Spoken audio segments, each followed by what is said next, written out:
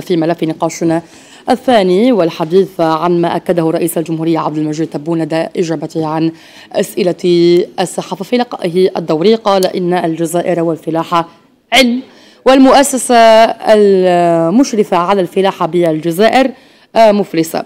الرئيس قال قال إن الخطة الاستراتيجية التي وضعتها الجزائر كفيلة بضمان توفير الماء الشروب ومياه السقي الفلاحي نقاط أخرى سأناقشها وأسعد باستضافة السيد محمد يزيد حنبلي رئيس الغرفة الوطنية للفلاحة معي هنا بالأستوديو المركزي أرحب بك معنا مساءك سعيد. الله يسلمك وشكرا على الاستضافة و... أهلا بك. سأناقش معك النقاط التي طرحها رئيس الجمهورية عبد المجيد تبون في لقائه الدوري مع الصحافة. الرئيس قال أن الجزائر طلبت تعميم محطات تحلية المياه بالجزائر عبر المناطق الساحلية التي قد تكون وتحول الجزائر دون أن تصل لأهدافها في مجال إنتاج الحبوب بالجزائر بسبب الشح المائي.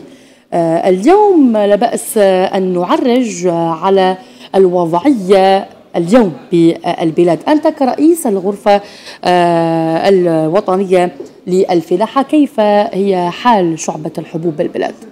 يعني كان منذ أربعة أيام يعني كنا نشرنا بيان على مستوى الغرفة الوطنية بيان ونطلب فيه من السلطات العليا للبلاد بإعلان حالة الجفاف في شمال البلاد وفي في, في المناطق السهبية يعني بالنسبة اليوم رانا في في شهر ماي وين نقدروا نديروا يعني الإحصائيات تاعنا ونديروا اليوم نقدروا نقولوا باللي شعبة الحبوب في الشمال يعني السنة هذه الإنتاج يكون ضعيف جدا وهذا رجع لشحة الأمطار و نعم. يعني في الأوقات اللازمة ما كانتش كاين تساقطات أمطار لهذه السنة طيب هل من آليات أو بعض من الحلول المطروحة التي قد تعوض الأراضي الزراعية بالشمال. نتحدث اليوم عن الأراضي الزراعية المسقيه في الجنوب التي يمكنها أن تعوض كل الأراضي في الشمال. هل من آليات تطرحونها؟ خلينا نقول لتعويض خسائر الجفاف بشمال البلاد. لا هو رئيس الجمهورية يعني كان تكلم في اللقاء الصحفي تاعو تكلم على المناطق الصحراويه يعني نعم. خاصه الفلاحة في الجنوب. وكان يعني قادرة تكون تعوض المناطق الشمالية في إنتاج الحبوب خاصة أنه عندنا مساحات شاسعة وتكلم رئيس الجمهورية على 8 ملايين هكتار يعني قادرين نستثمر يعني تكون تكون بالنسبة للحبوب وكذلك بالنسبة للأعلاف وزراعات استراتيجية أخرى. وبتوفر المياه الجوفية هذا اللي يخلينا الجزائر راح تكون إن شاء الله في أريحية. يعني الجزائر عندها إمكانيات باش تعوض شح الأمطار والجفاف اللي تشهده المنطقة وكل منطقة البحر الأبيض المتوسط يعني في الشمال. ولكن يعني لازمنا يكون هناك عمل وتكلم رئيس الجمهوريه على تكلم على انه الفلاحة هي علم. كذلك أراضي الجنوب الشمال يعني لازم لأنه الأراضي اللي ما اللي ما نستغلوهاش يعني ما نستغلوهاش بطريقة أمثل قادرين نضيعوها. وهنا لازمنا نروحوا نحو يعني الأبحاث و وإيجاد يعني سبل أخرى لاستغلال الأراضي في الشمال الجزائري عن طريق يعني استعمال بذور ملائمة مقاومه للجفاف استعمال تقنيات كذلك السقي حديثة. ولما لا اختيار يعني كما تكلم الرئيس بعض الزراعات الأخرى مثلا أشجار مقاومة للجفاف هناك عدة استثمارات في هذا المجال فهناك عدة طيب لكن متى؟ متى وجب على الجزائر أن تتحرك في إطار محاربة الجفاف الذي يعصف بالمنتوج الفلاحي خصوصا شعبة الحبوب. برأيك متى وجب على الجزائر أن تبدأ في عملية أو بداية عملية استيراد كما سبق وأشرت البذور التي تجابه وتحارب الجفاف إلى غير ذلك؟ لا هو ماهوش استيراد. هي هو كاين دول خاصة دول البحر الأبيض المتوسط يعني بعض الدول اللي عندها سنوات أكثر من 30 سنة وهي تعمل لأنه الدراسات كلها كانت تقول باللي المنطقة رايحة تدخل في جفاف يعني. نعم. هناك دول اللي عندها دراسات وكان أخذوا البذور تاعنا القديمة لأنها بذور مقاومة للجفاف. كما تعرفوا الجزائر كانت دائما مناطق ساخنة فيها بذور متأقلمة وكانوا يعني هناك عمل كبير تطوير المعاهد تاعهم يعملوا عمل كبير تطوير لإنتاج بذور آه، مقاومة للجفاف. نحن الآن رئيس الجمهورية تكلم على العلم وهنا جاء الآن يعني آن الأوان باش نفعلوا دور المعاهد تاعنا المعاهد التقنية نعم. اللي دورها آه، ضئيل جدا وهذا لنقص الإمكانيات ما أعطيناهاش الإمكانيات اللازمة منذ سنوات. هنا لازم يكون آه، العلم هو أساس تقدم واساس هنا نتكلموا على أمن الغذائي نتكلموا على آه، البحث الزراعي نتكلموا على بنوك المورثات بنوك البذور لتأمين بذورنا لتأمين إنتاجنا. لا يمكن أن نستورد يعني حلول جاهزة. لازم الحلول تجي من الجزائر. يعني آه، هناك إمكانيات كبيرة هناك جامعيين هناك باحثين هناك معاهد اللي ما عطيناهاش آه، الإمكانيات باش تلعب دورها الحقيقي. مش من المعقول أنه نلقاو باحث في معهد يعني يكون الراتب تاعه ما يتجاوز أربعين ألف دينار آه، ونستنوا منه الكثير. هذا كله لازم تفعيل دور المعاهد والدور المعاهد لازم يكون مرتبط بالمهنة بالمهنيين. اللي نقدروا يعني مع آه، مع الوقت نقدروا نخرجوا أصناف آه، مقاومة آه، وكذلك يعني أصناف حيوانية وأصناف نباتية. كذلك نحن فقدنا معظم الأنواع تاعنا تاع الأبقار اللي كانت أبقار محلية تقاوم الجفاف وتنتج وفقدناها في ظل الاستيراد العشوائي لأنواع وأصناف لا تتلائم مع ال مع ال يعني الجو تاعنا مع البيئة تاعنا. وهذا لقله البحث. آه، حبذا لو تكون هناك آه، بحوث تكون هناك إنتاج آه، يعني أصناف حلول محلية هنا تكون عندنا هنا. وهنا يعني دور العلم ودور البحث. ويعني وكان رئيس الجمهورية تكلم على العلم تكلم على عدة أمور. وهذا يدل على أنه عنده دراية بما هو جاري في الدول الأخرى. خاصة نتكلم على العلم نتكلم على كذلك إعطاء المهنيين دور أكثر آه، في في التطوير آه، في التنمية الفلاحية لأنه الآن دورهم يقتصر على الاقتراح فقط الآن في الوقت الحالي. وهذا يدل على أنه رئيس الجمهورية عباله وش صاري في دول أخرى متقدمة لأنه الدول المتقدمة اللي عندنا آه، دول خاصة في البحر الأبيض المتوسط دول فلاحية متقدمة. الأساس تاع التنمية وتطوير القطاع الفلاحي هي المهنة. تبقى الإدارة دورها ضبطي. وهذا دليل على أنه رئيس الجمهورية يعني حب ينتقل بالجزائر إلى دولة رائدة في المجال الفلاحي. لذا رانا نشوفوا باللي يعني السياسات المطبقة في دول متقدمة يتكلم عليها رئيس الجمهورية. اليوم الجزائر كما سبق وأشرت كانت قد سطرت أهداف عدة في آه، طبعا الشق الفلاحي والإنتاج الفلاحي بالجزائر.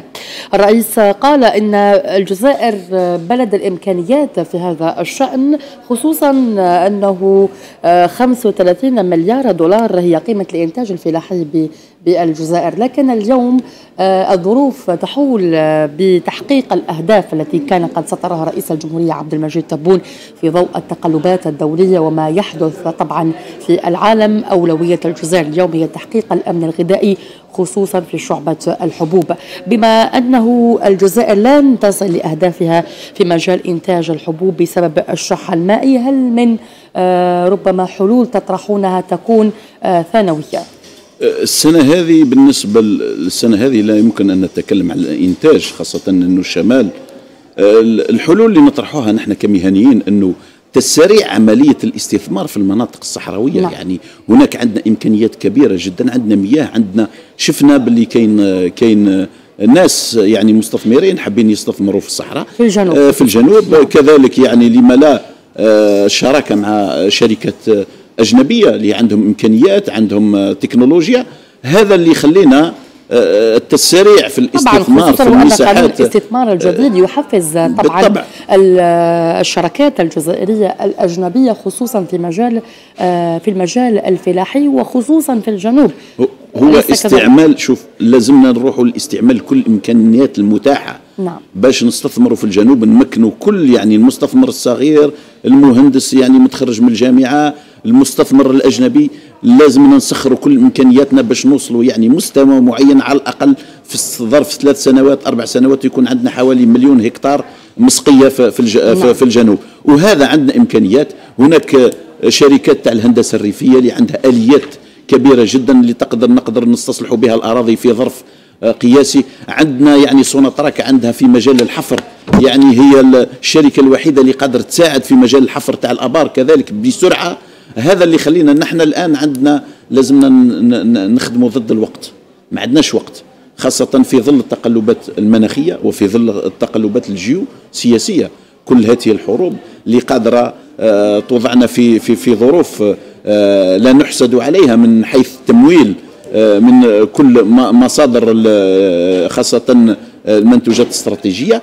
عندنا إمكانيات لما لا نستغل كل هذه الإمكانيات في تسريع الاستثمار في المناطق الصحراوية لما لا آه، نتكفل آه، بالمناطق هذه ونقوم بالاستصلاح يعني في أسرع وقت. ابقى معي فقط سيد حنبلي. دعوني فقط أرحب عبر الهاتف مباشرة بالأستاذ أحمد مالحة هو كالخبير في الشأن الفلاحي. أرحب بك معنا عبر الهاتف على المباشر. مساءك سعيد. آه، شكرا على الدعوة ومساءكم طيب. أهلا بك. طيب سأناقش معك ما أكده رئيس الجمهورية عبد المجيد تبون في إجابته عن الأسئلة المتعلقة بالشق الفلاحي الرئيس قال أن الجزائر اليوم لن تصل لأهدافها في مجال إنتاج الحبوب بسبب الشح المائي. هل من آليات ميكانيزمات تقترحونها لبلوغ الهدف المرجو وهو تحقيق الأمن الغذائي خصوصا في شعبة الحبوب. لا شعبة الحبوب يعني اليوم إحنا آه، المزارعين والفلاحين يعني منذ قديم نمارس زراعة الحبوب المطرية يعني التي تخضع إلى سقوط الأمطار.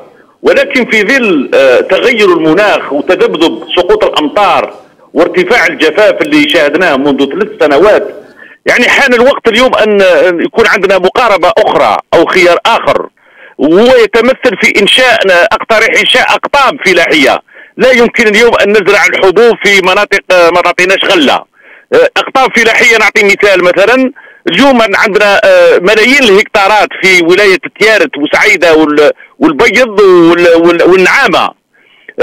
ونستعمل يعني نستعمل عنصر الماء. من أين عنصر الماء؟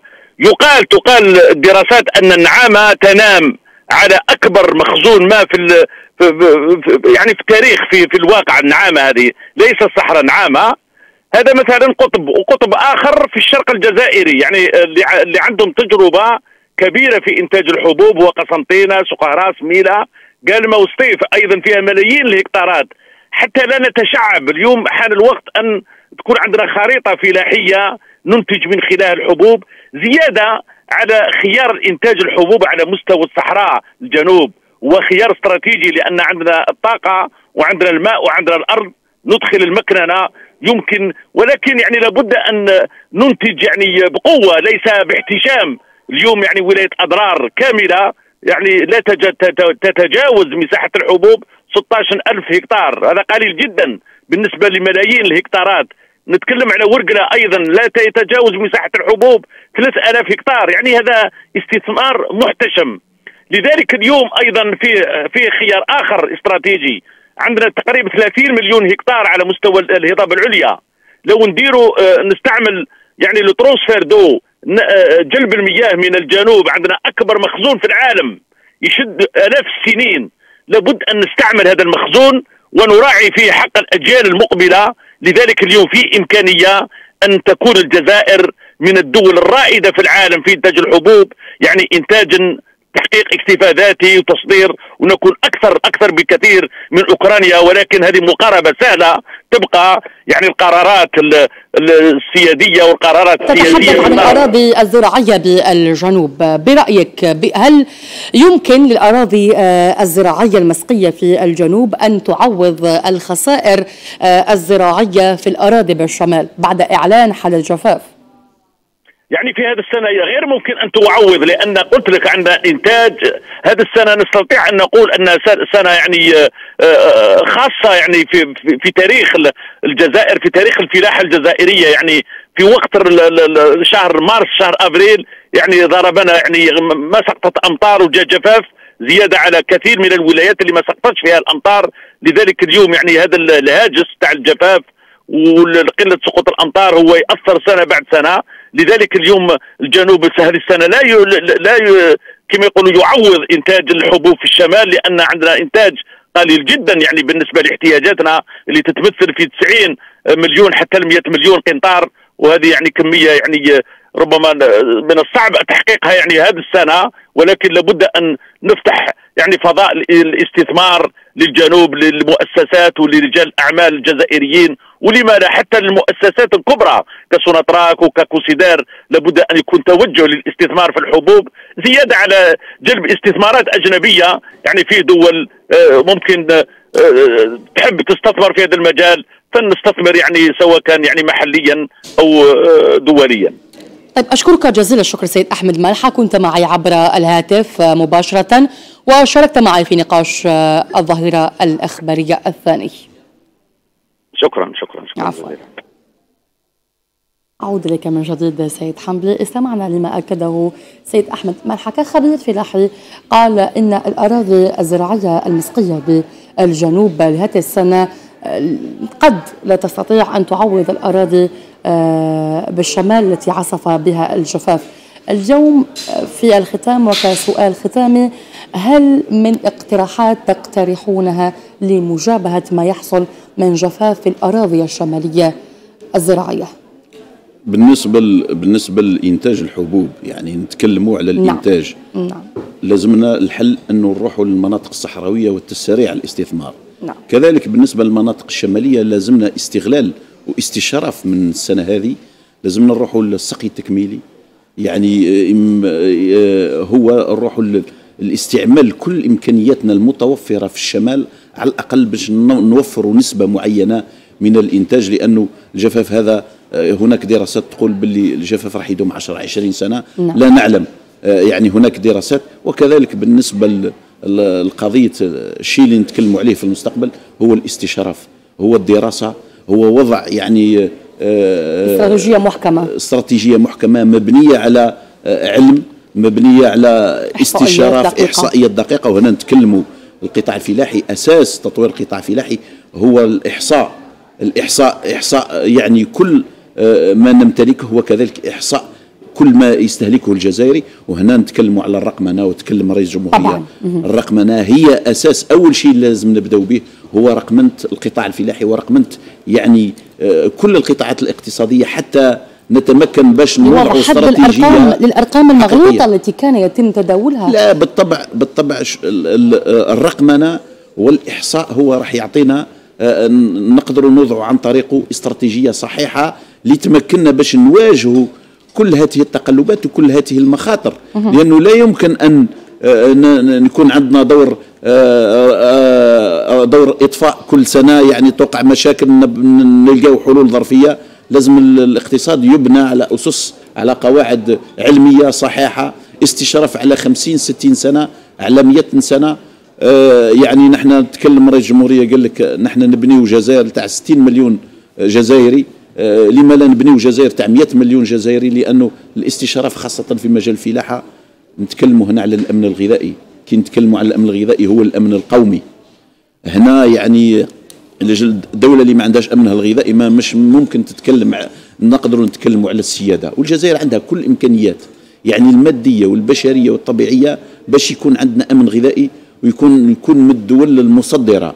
لازمنا نبنيو استراتيجية آه، آه، على توازن الميزان التجاري.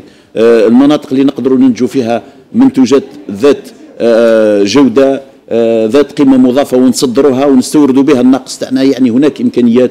مثلا في الشمال نقدروا نروحوا للإنتاج النباتات الطبية النباتات العطرية. كل هذه نقدروا نصدروها ونستوردوا بها آه يعني الشيء اللي ناقصنا هنا نتكلموا الأمن الغذائي ماهوش فقط إنتاج كل شيء.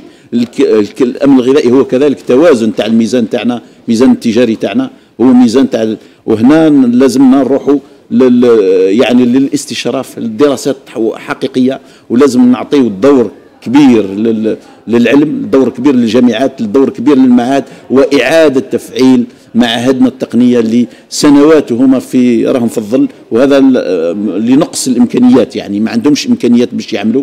كذلك إعطاء يعني بالنسبة للتنمية الفلاحية بالنسبة للتنمية الاقتصادية هي من مهام المهنيين. هنا نعطيه دور أكثر للمهنة وكان رئيس الجمهورية تكلم على المهنيين لأنه المهني آه، آه، الدور تاعو هو الإنتاج يعني طيب. والهدف تاعو الإنتاج ولازم يحمي المنتوج تاعو وهذا من الأهداف تاع الدولة. أتمنى لكم التوفيق في مهامكم شكرا. سيد يزيد حمدي رئيس الغرفة الوطنية للفلاحة شكرا لك لقبولك الدعوة اليوم بأسود جهتنا المركزية. شكرا عفوا عفوا ونشكركم على الاستضافة.